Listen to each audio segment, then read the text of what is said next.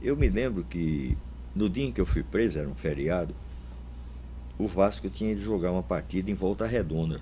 Né? O Volta Redonda tinha entrado na primeira divisão do Campeonato Carioca e o Vasco tinha ido lá. E eu não, não acompanhei o jogo, obviamente, né? A gente naquela tensão, vai ter reunião do Comitê Central, não vai. E de noite fui preso e tal, me esqueci disso. E acho que já uns três ou quatro dias, cinco dias que eu estava lá no Doicole, o meu que estava do meu lado, o Salatiel, um soldado que estava com metralhadora apontando para a gente, a gente deitado pro chão, nu, etc., cara no chão, sem poder se mexer, aquele negócio todo. O cara chegou e disse, sou é, seu Salatiel, suas irmãs são minha vizinha e tal. Aí, pô, rompeu o gelo, né? Aí eu vendo o cara, ele é, sou, então o que é que o senhor está fazendo aqui e tal, suas irmãs são evangélicas, eu sou nessa. Aí disse, meu irmão, tu sabe quanto foi o resultado do jogo do Vasco? Que é o cara comunista, filho da puta, se falar eu te mato e tal. Eu disse, pô, cara, eu só quero saber o resultado do jogo.